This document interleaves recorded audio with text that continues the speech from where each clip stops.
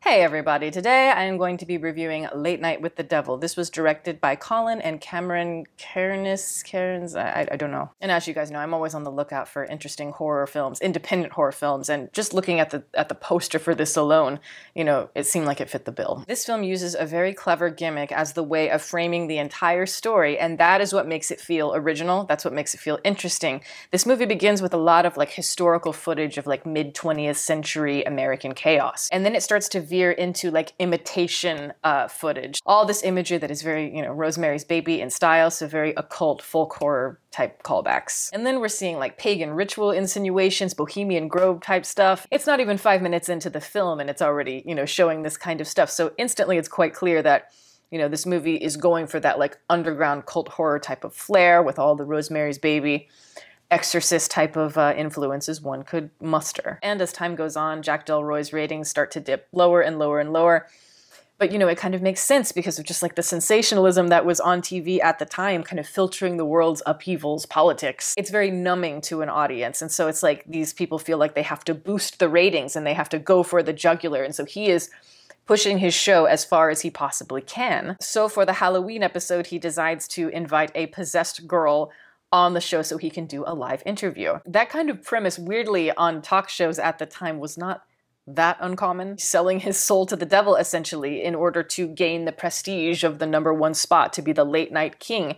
Um, but it's the way that the movie goes about presenting the tension of all of this that I think is really fun. It makes the entire film in the style of the 1970s broadcast. And in the case of this movie, it is Late Night with Jack Delroy, the Halloween episode. During the commercial breaks, they will go backstage and then they start to continue the movie, but in the style of like a behind the scenes black and white documentary. So that way you can see the uh, tensions unfold in real time, but again, you know, more in the shadows.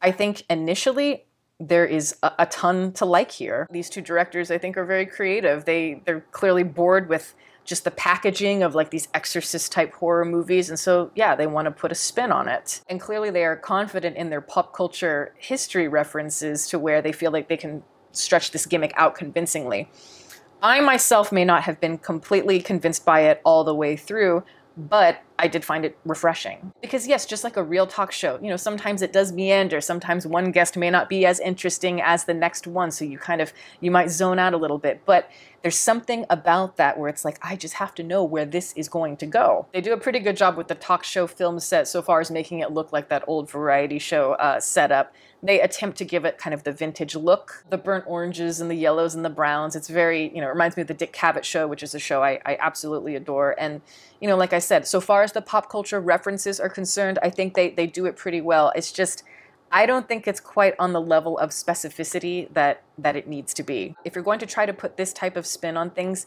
I don't think you can just commit to it 100%. You've got to commit to it 110% because this is a lot harder to pull off. It's a lot harder to fool audiences when you have that novelty aspect. Yes, at first glance, when you're kind of skimming the film, it reminds me of like when you're walking on some studio back lot. Maybe they're shooting a, a big Western or something, and maybe it looks really, really good. The exteriors, like the saloon and everything. It feels like I'm transported in time, but then, you know, we all know if we go behind it that all of the uh, interiors are going to be completely hollow. It's just the outdoor door. And that's kind of the feeling that this film gives me. Again, very convincing on the outside, but I think when you sink your teeth into it, it does become a little bit hollow because I think 1970s occult type horror, it depends on those textures, that dirty kind of aged look. I think a, a director like Anna Biller would do wonders with a premise like this where, you know, it's not, it doesn't just have the flavorings of that underground cult type of movie, but it really like digs its heels in and it's marinated there. The detail in her movies and just her encyclopedic knowledge of this particular era and the ones before it is insane. Another thing I couldn't help but think about during this was a short film that came out, one of those uh,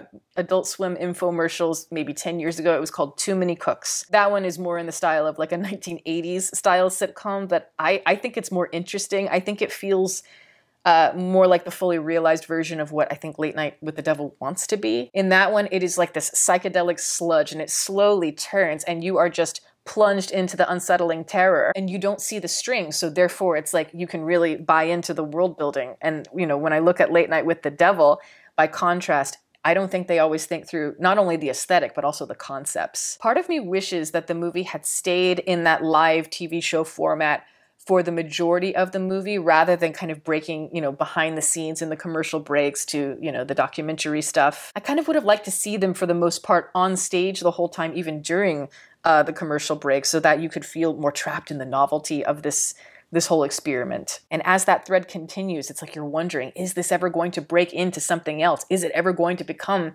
cinematic, but also just the black and white stuff. You know, it's meant obviously to show the subtextual stuff, all the, you know, like the tensions that are rising behind the scenes of this whole thing. But, you know, a lot of it feels very fake. It feels forced. And I think authenticity or like the at least trying to appear authentic is very important when you're doing found footage movies or like mockumentary type stuff but here it's like all the juicy dramatic conversations just conveniently all happen right in the commercial breaks of the show and it's just yeah i didn't buy into it but let me tell you if you cast appropriately that can solve a lot of the problems of your movie and i think in this case they nailed it so far as casting uh, Jack Delroy. What an inspired choice in David Dastmalchian. You know, he's a he's more of a character actor, and he's always playing like these really creepy, dark characters in a lot bigger films. So to see him at the forefront of this one, playing this like straight laced talk show host who's supposed to be like the poster child for like Americana suburban appeal you know, it's not what I would think of. But I think he's amazing just because he already has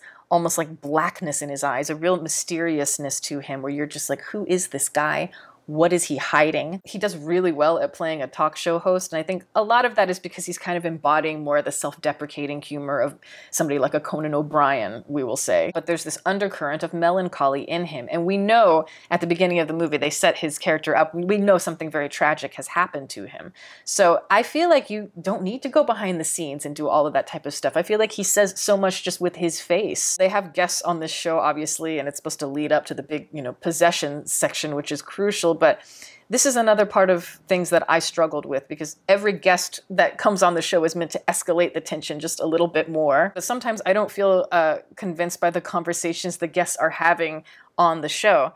As an example, uh, Ian Bliss, he he plays like the skeptic of the group, the guy that's like, no, this is a fraud. There is no possession. It's TV, folks. This is all an illusion. And yes, of course, it makes sense to have a skeptic in this type of movie, but you know, does it have to be so ham-fisted? It it reminded me of of that episode in Dick Cavett uh, many years ago where you know, was it Norman Mailer who was being kind of an asshole and it made, you know, the tensions rise in the room. And I guess I'm looking for more nuance in like an unplanned live television type of situation, even you know, when you have these campy late night personas. The movie does eventually break from its like internal logic of the live TV format and it starts to go into Jack Delroy's mind and it's like in this weird loop. He's very lost to the illusion and they do a similar sort of thing in Too Many Cooks, which I, you know, I said I would probably come back to. I prefer the descent into madness for Too Many Cooks because I feel like the themes are really brought out quite strongly there. The way that we try to break from these illusions that are projected onto us by pop culture in order to find,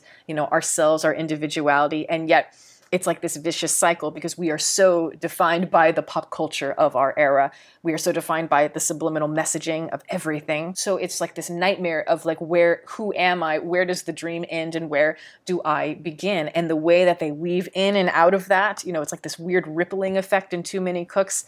I it's claustrophobic. And I think that with Late Night with the Devil in the third act in particular, especially in the last maybe 10 minutes, I think they really want to take you on a wild ride that's kind of similar and I'm, I'm certainly digging the impulse, but you know, it's just, it's not quite there and it really needs to be in order for it to be effective. All that satanic bohemian grove stuff, I think it should be unleashed here, but it feels too unimaginative, I think, for a final flight. It feels like somebody saw Rosemary's Baby maybe a couple of times and was like, I got this. This felt like some sort of performed pagan ritual, but like by community theater as one does. But the ending is also, you know, it's muddled, and I struggled to understand it so far as I just don't think that it was properly conveyed to the audience what is supposed to be going on. I'm trying to understand still how the final moment, the final shot, you know what I'm talking about, is is achieved so far as what the audience is seeing from the live TV perspective. Because once we break from that, we don't return to it. So that kind of becomes a problem. We're in Jack's mind, but it's like, how is he lured in to make the sacrifice? Is this like a, a hypnosis? Is the audience also under the hypnosis? You know, they hint at that, you know, big time in the film. This film is a mixed bag and it is frustrating because it is very close to committing. It is it is so close, but just not close enough. The premise is interesting, and the gimmick didn't wear too thin. It's original. It's well made. It has a very strong uh, performance at the center of it. I could see this film being passed around for a while. I just you know had it made that extra leap, I think this could have absolutely been a masterpiece. Even if I'm saying a lot of negative things about it, it means I was emotionally invested. So yes, I consider that to be a good thing. I know a lot of people have already seen this, but this is a perfect movie to watch for Halloween if you haven't already. But that is my review. Thank you guys so much for watching. I'm going to plug my website as always. It is deepfocuslens.com. I'm an artist, I do commission portraits, and I sell prints of my work. If that is something that you're interested in, you can always go to the website below, and if you have a, a question about a commission or a print, you can always email me. My email is in the description box below as well. Also, I'd like to give a shout out to my patrons who are great. Guys, thank you so much for your support. Welcome to all the new members. If you are interested in supporting, the link for that is below, as well as the rest of my social media information. You can watch my videos here, and you can subscribe if you'd like. Catch you next time.